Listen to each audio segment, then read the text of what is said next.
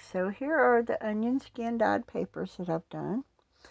And some of them are darker than others, and some of them have this little grungy look to them. Some of them are just, this is where an onion skin got to stay on the paper. It'll come off. Then I have this pretty little doily right here.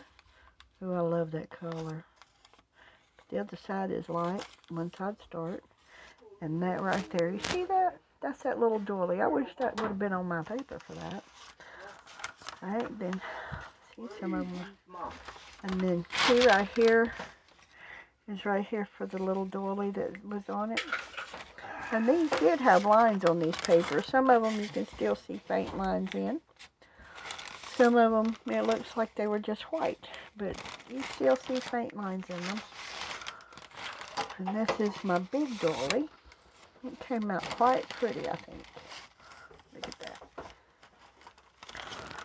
And both sides of it are equally the same.